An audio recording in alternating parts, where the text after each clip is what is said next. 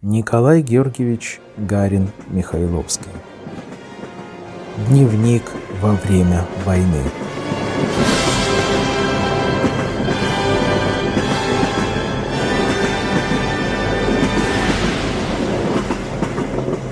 Читает Евгений Бразов-Брюшковский.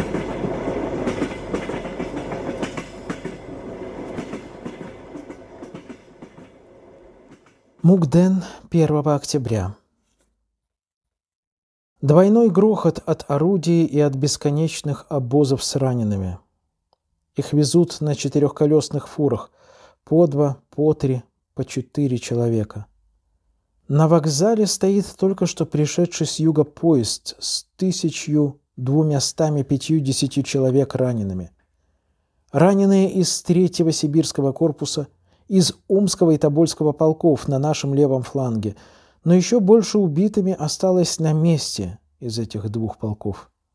Их окружили, патроны вышли у них, надеялись, что первый сибирский корпус придет на помощь, но обстоятельства оттянули его вправо.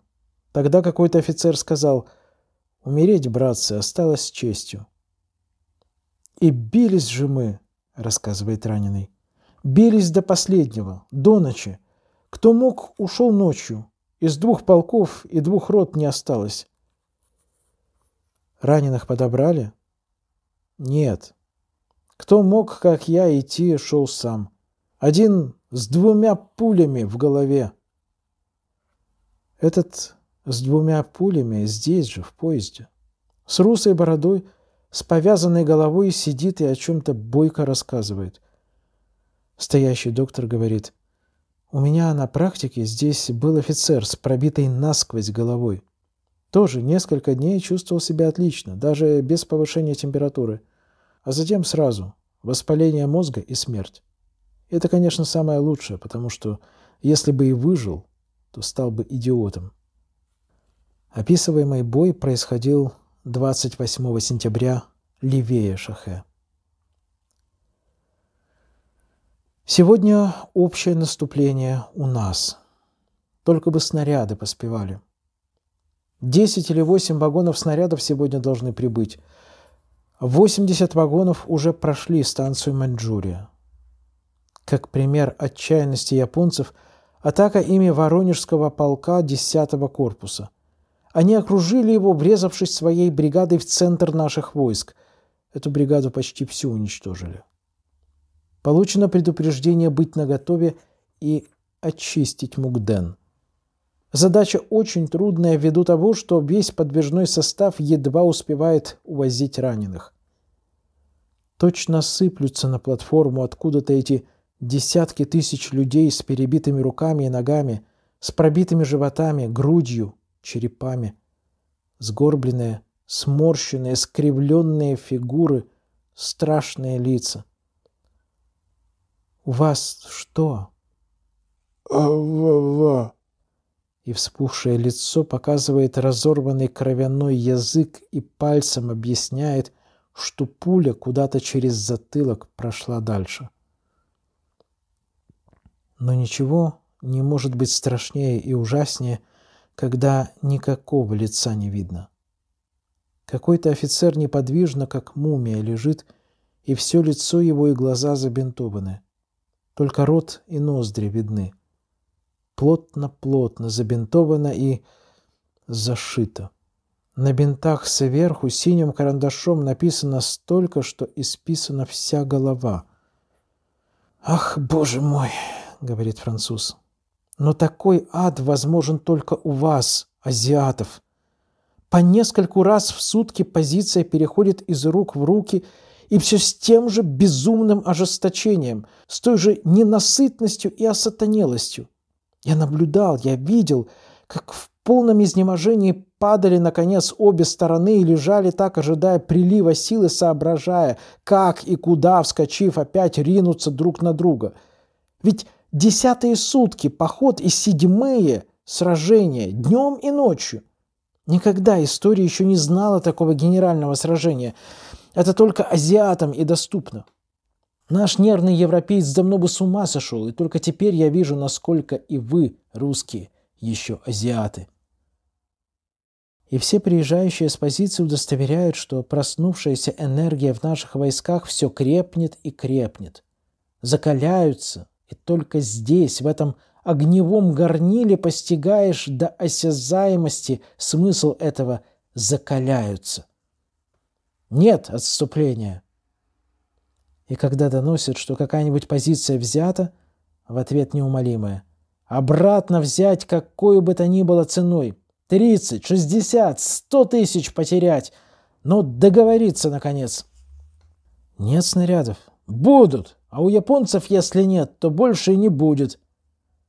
Два наших полка, о которых я писал, окружили японцы. Снаряды у них вышли, а новые нельзя было подать. И они бросали камни, дрались штыками, прикладами. Страшные раны и почти всегда смертельные – Удары прикладами в голову и в лицо. Лицо исчезает во вздутой бесформенной массе. Вот рассказ офицера 9-го Ингерманландского 17-го корпуса полка. 28 сентября приказано было занять деревню Иендоушиум по правую сторону дороги за Шахе и рядом с ней безыменную сопку. В атаку пошли 3 и 4 батальоны. В этой атаке убит командир полка и его сын. Японцев прогнали и гнали полторы версты. Тогда японцы весь огонь своих орудий сосредоточили на ингерманландцах. Пришлось уйти назад от деревни, но к вечеру пришел приказ командующего взять во что бы то ни стало назад деревню. Полковник Мартынов, уже несколько раз отличившийся за эту кампанию, очень талантливый и решительный, повел своих зарайцев, хитрых рязанцев, и так искусно подкрался, что напал врасплох и взял деревню без выстрела. Часть японцев в это время ужинала, часть уже спала, и, как были вскочив, они бросились бежать, преследуемые нашими. Они ели в теплых накидках, в мягких теплых сапогах. Наши доели их ужин, завернулись в их накидки и легли спать. Но только что легли, как началась из Гаоляна ружейная стрельба. Это стреляла часть бежавших японцев. Наши вскочили и бросились в голяны, перекололи их. На утро японцы опять открыли отчаянный огонь. Пришлось опять отступать.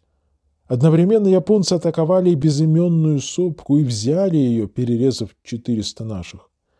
Опять кричат «Взять назад во что бы то ни стало!» Три полка пошли. От Епифаньевского осталось несколько десятков. Отступили. Бригадный видит — Идет с этой горстью оставшихся солдат офицер, набросился на него. «Что вы здесь делаете? Ступайте в полк!» Это, говорит, весь полк. До четырех часов бились, и пришлось все-таки отступить. Отступил десятый корпус, охраняя левый фланг семнадцатого. Пришлось и семнадцатому отступить за реку Шахе. Только что Получено известие, что Тумполинский перевал взят, и дороги к янтайским копьям для нас открыты. И сразу у всех заметен подъем духа. А возбужденный и радостный Н.Е. торопливо говорит, «Теперь наша победа несомненна. Вопрос двух-трех дней всего. Японская армия окружена и или разбита, или сдастся». Он смеется и кончает, «Это представляется ей на выбор».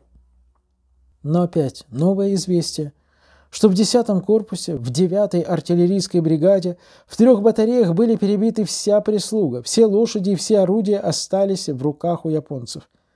Ночью мы отняли 16 орудий, но на другой день японцы взяли их опять обратно. Много горячих рассказов о том, что командующий сам руководит боем, и его постоянно видят под огнем. За это одни обвиняют его, другие доказывают, что это необходимо – Необходимо? А если убьют? Другого Куропаткина нет? Я ни на йоту не преувеличу, если скажу, что командующего обожает армия, и можно представить поэтому, как горячо ведется спор. Говорят и о Мищенке, об его спокойствии под огнем, когда он лениво говорит горячащемуся офицеру «Не возмущайтесь». Говорят тоже с любовью, как не только о намеченном, но уже и оправдавшим надежды.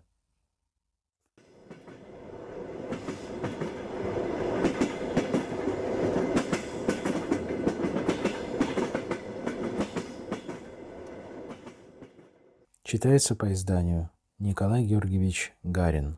Полное собрание сочинений. Том 6. Петроград. Издание товарищества «Маркс», 1916 год.